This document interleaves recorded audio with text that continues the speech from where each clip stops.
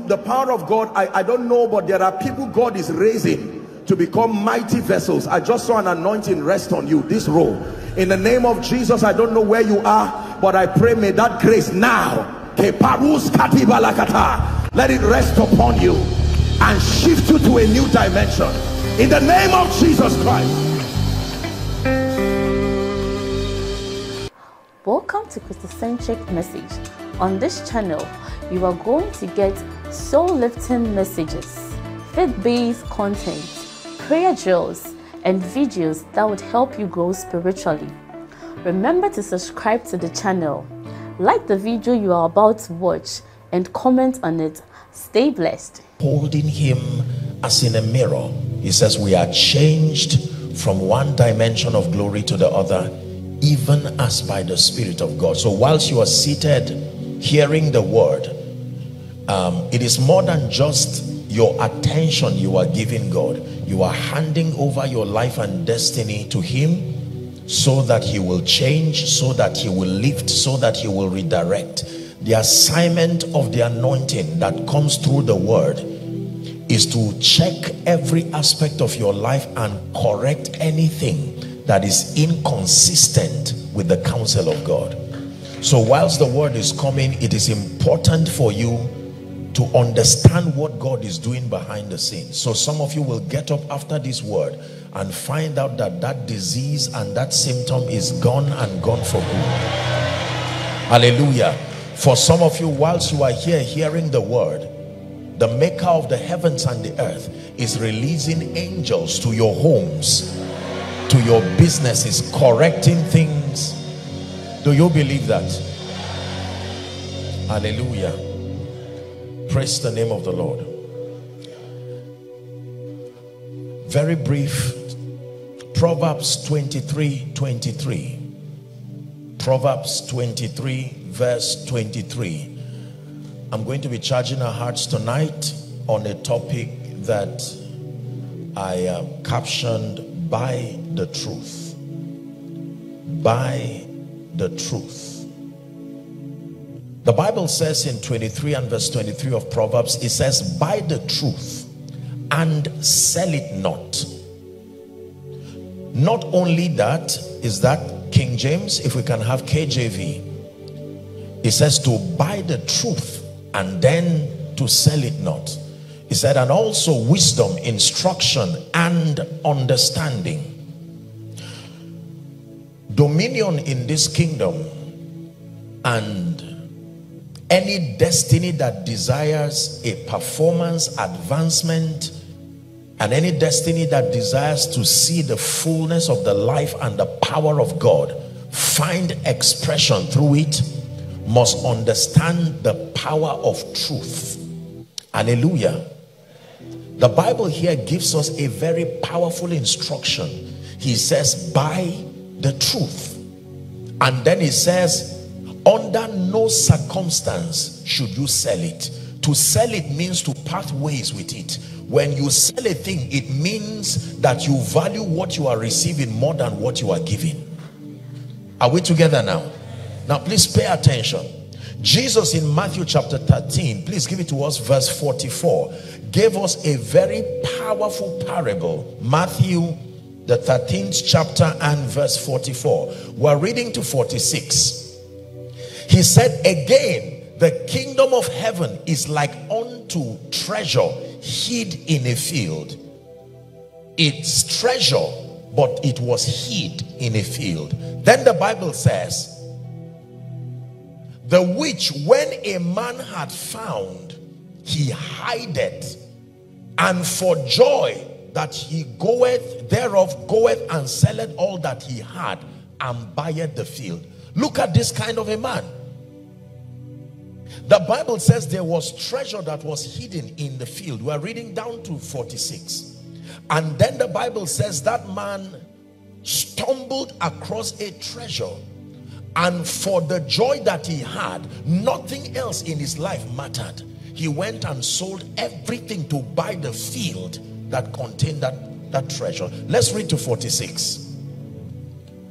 Now 45. Again, the kingdom of heaven is like unto a merchant man seeking goodly pearls. Uh-huh. It says, who when he had found a pearl of great price, went and sold all that he had and bought it. What is so valuable about this treasure that these people are willing to sell every other thing they had to buy it? It says, buy the truth and to sell it not.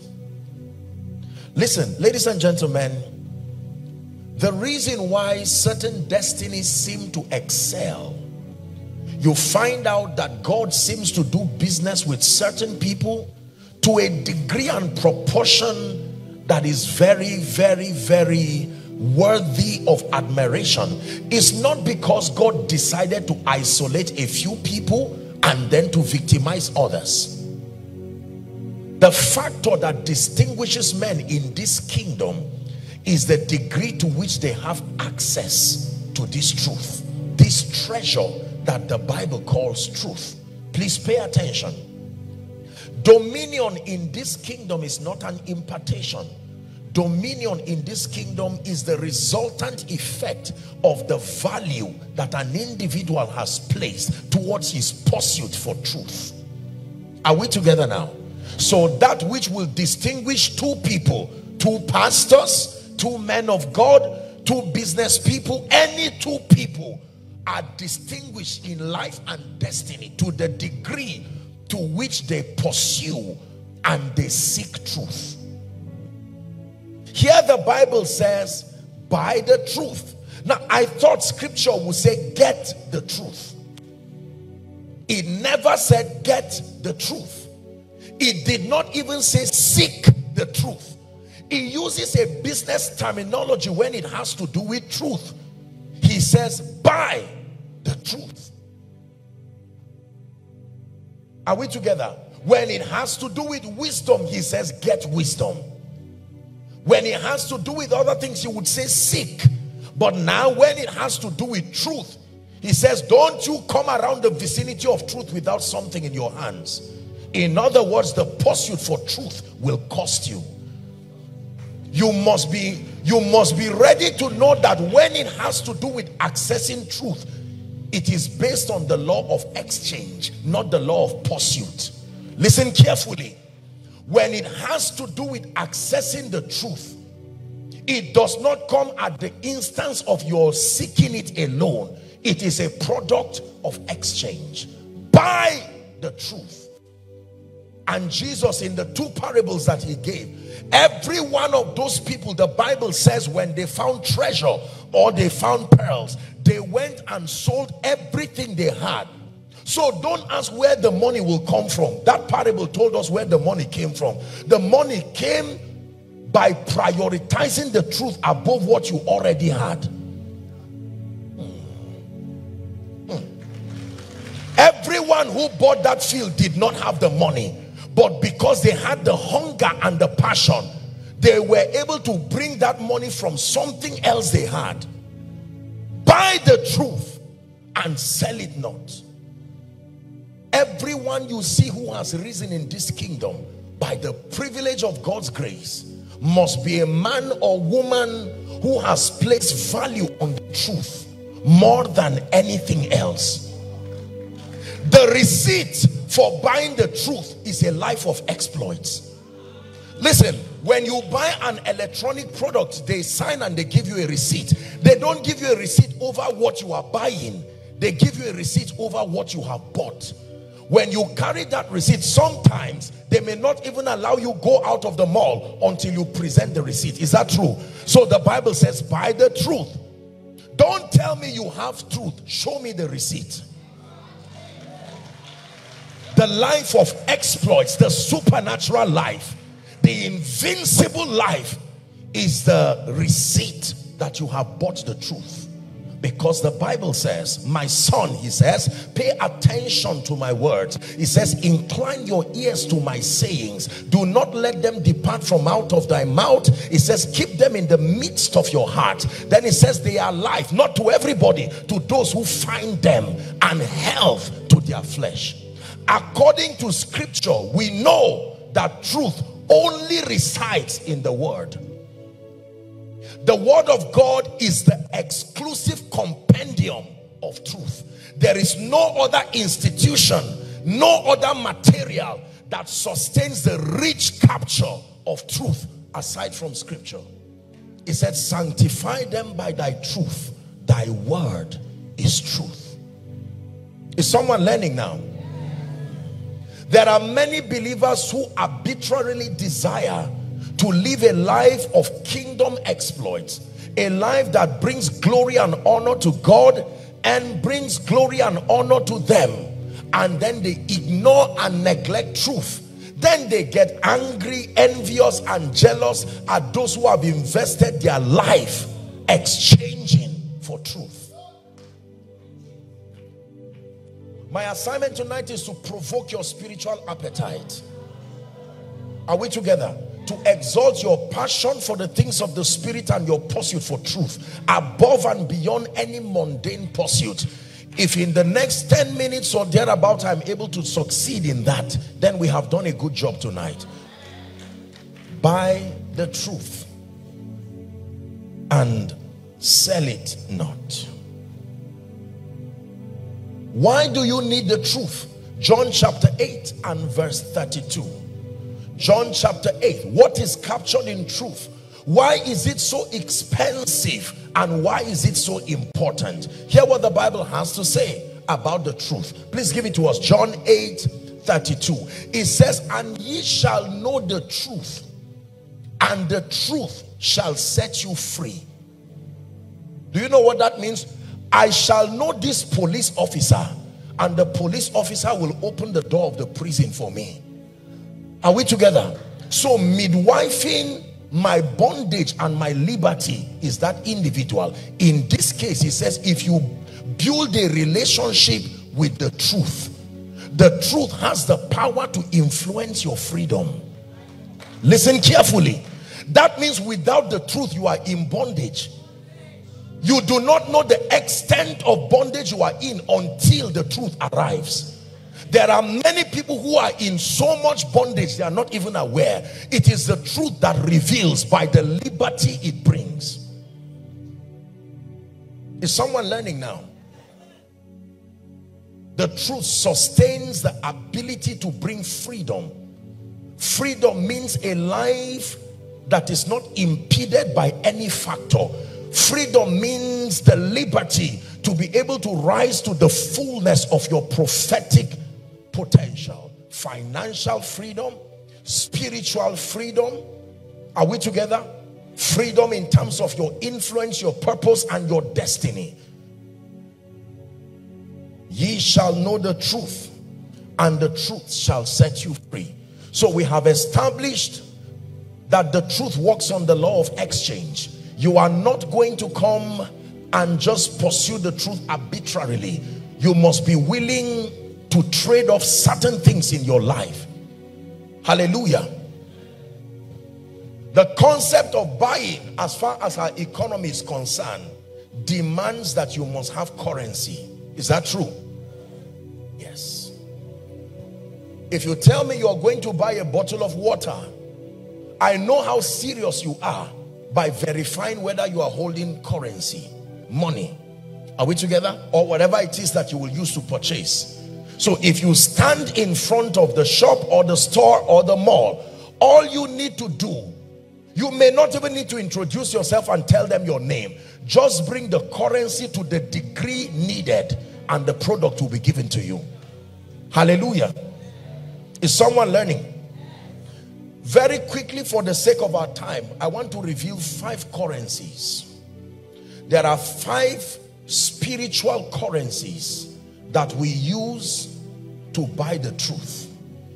Anyone who lacks this currency will never be able to become the custodian and the steward of truth. And that means your life will remain impeded and will remain limited. If you're with me, say amen. When the Bible says buy the truth, it then means you have to know how to generate the kind of currency that is used to purchase this great treasure that the Bible calls truth. Number one, very quickly.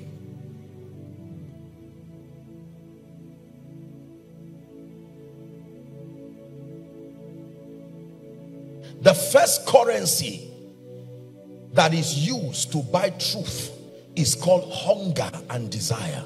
Write it down, please. You will never be able to buy the truth if you cannot generate this currency of genuine hunger and desire. Proverbs chapter 4 from verse 5 to 9. Is God helping us already? Proverbs 4 5 to 9. 4 5 to 9. Get wisdom, it says, get understanding. It says, forget it not, neither decline from the words of my mouth. We're reading to 9, verse 6 now. It says, forsake her not, and she shall preserve thee. Love her, and she shall keep thee. Verse 7. It says, wisdom is the principal thing, therefore get wisdom. And with all thy getting, get understanding. I love verse 8 Watch this. It says, Exalt her, and she shall promote thee. She shall bring thee to honor when thou dost embrace her. Verse 9. It says, She shall give to thy head an ornament of grace, a crown of glory shall she deliver. But you must demonstrate desire. Desire. Proverbs 18 and verse 1. It says, Through desire, a man having separated himself, seeketh and intermeddleth with all wisdom. The currency of hunger men who find God, men who find truth, men who find the word that builds their lives and turns them into signs and wonders are people of hunger and pursuit. Someone say hunger, say desire. When you come into the faith life and your desire is passive, anyhow, if God comes, let him come. If God blesses me, let him bless me. You will never find truth.